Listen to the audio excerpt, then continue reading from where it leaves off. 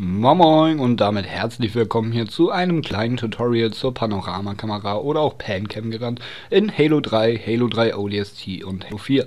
Sprich, das was ich euch heute zeigen werde, funktioniert in allen drei Spielen 1 zu 1 mit genau derselben Tastenkombination und auf genau dieselbe Art und Weise. Lediglich fehlt bei Halo 4 die Kampagne im Kinomodus, das heißt, da könnt ihr euch nur auf die Multiplayer-Karten beschränken. Für die, die es noch nicht wissen, der Panoramakamera ist ein spezieller Kinomodus, der uns erlaubt, uns durch die meisten Level, beziehungsweise hier in Halo 3 durch sämtliche Levelbarrieren durchzuglitschen.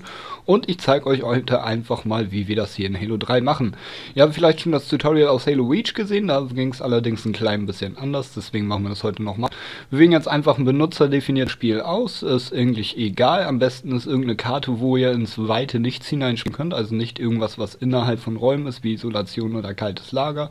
Wir nehmen einfach mal Wächter stattdessen, da wir hier irgendwie in den weiß, äh, grünen Nebel reinspringen können.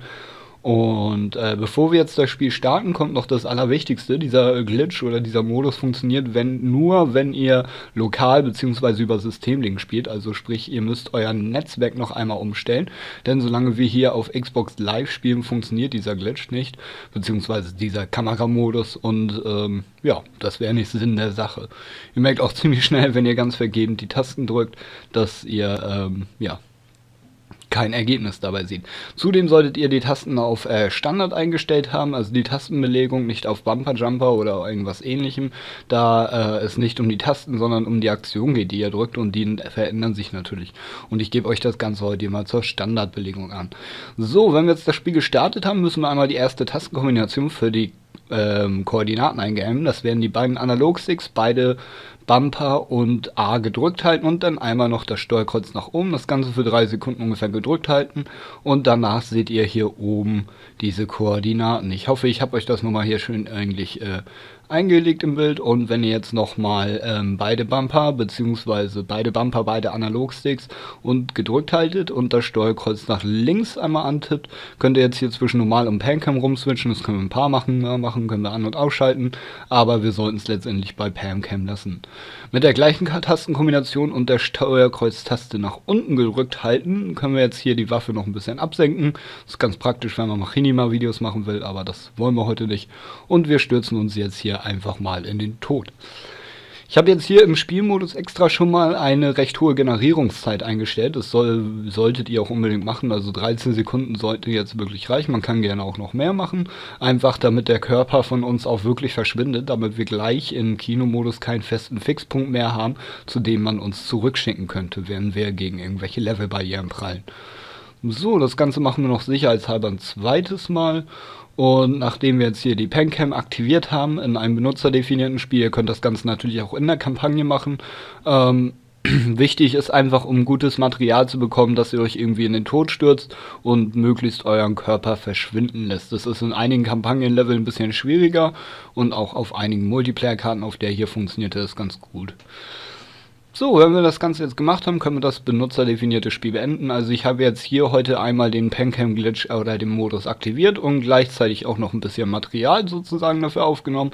Wie gesagt, ähm, wenn ihr, ihr müsst euch wirklich einmal in den Tod stürzen und möglichst euren Körper verschwinden lassen, dann ansonsten werdet ihr nachher bei der Pancam, wenn ihr euch versucht durch Levelbarrieren durchzuglitschen, sehr schnell wieder zu eurem Ursprungsort bzw. zu eurem Spieler, dem Master Chief oder eurem Multiplayer Spartan zurückgebracht und kommt nicht durch die Levelbarrieren durch.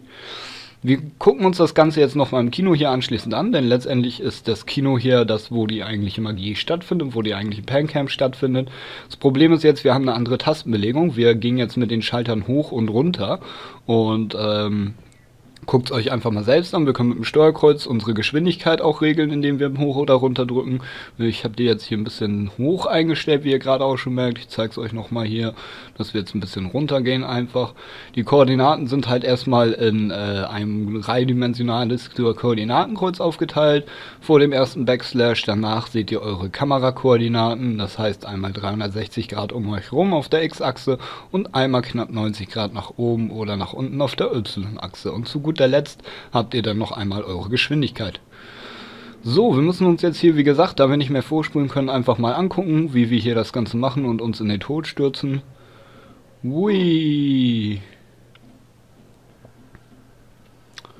und auch noch ein bisschen warten. Wie gesagt, es ist immer praktischer, wenn ihr ein bisschen länger wartet, einfach damit euer Körper verschwindet. Es kann auf einigen Kampagnenkarten echt eklig sein. Manchmal funktioniert es auch, wenn der Körper noch da ist, aber es ist immer ratsamer, das zu machen, wenn der Körper verschwindet. So, und ich habe jetzt gerade ein bisschen zu lange gewartet. Ich wollte im letzten Moment auf Pause drücken, habe jetzt aber zu lange gewartet.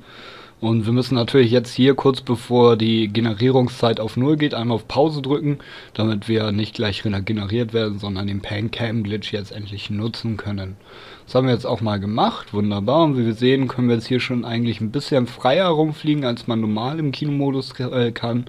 Aber wir haben immer wieder stückchenweise ein paar Levelbarrieren, die uns am Weitergehen hindern. Und deswegen drehen wir jetzt einfach mal unsere Geschwindigkeit auf und versuchen einfach hier aus der Karte auszubrechen indem wir jetzt einfach mit den Schaltern hoch und runter gehen. Ich würde euch empfehlen, das wirklich über die Schalter zu machen, weil ihr dann nur die Z-Koordinaten sich ändern, äh, die Y-Koordinaten sich verändern sehen.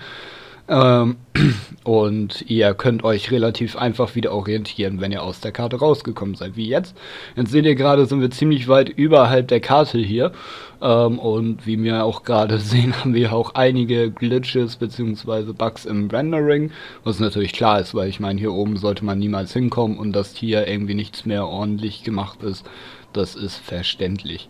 Sind im Zweifelsfall sogar schon fast außerhalb der eigentlichen Kuppel der Multiplayer-Karte, denn äh, alle Karten hier in Halo 3 sind innerhalb einer so, sozusagen Halbkugel aufgebaut.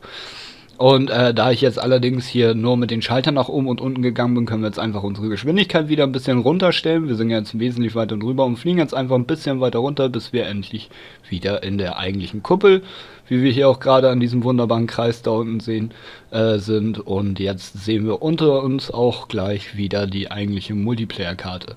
Das ist immer ganz herrlich anzusehen, wie klein eigentlich die ganzen Karten sind. Also da unten, das ist der Wald und da ist die kleine winzige Karte. Ähm, Gerade im Vergleich dazu, wie riesig die ganze Umgebung hier ist, diese riesige Halbkuppel. Und ja, man kann sich das hier einfach mal ein bisschen von weiter weg betrachten. Ich muss sagen, die Multiplayer-Karte, die wir uns heute angeguckt haben, beziehungsweise allgemein Multiplayer-Karten, haben meistens nicht so viel anzugucken. Aber ich hoffe, äh, das Video heute hat euch trotzdem gefallen und äh, ihr könnt das gerne selbst nochmal ausprobieren. Falls ihr noch weitere Fragen habt, schreibt es in den Kommentaren. Ich hoffe, das Video hat euch gefallen. Wenn ja, liked es und äh, wenn ihr wollt, können wir auch gerne noch einmal oder ein paar mehr Mal ein paar Ausflüge in der Panoramakamera machen. In dem Sinne, Leute, schon mal vielen Dank fürs Zuschauen. Ich zeige euch jetzt einfach noch ein bisschen hier von der Multiplayer-Karte und ich hoffe, es hat euch gefallen. Wenn ja, liked das Video, abonniert den Kanal, damit ihr nächste Folgen nicht verpasst und schreibt mir gerne nochmal, ob ihr noch mehr sowas sehen wollt. In dem Sinne nochmal vielen Dank und bis zum nächsten Mal.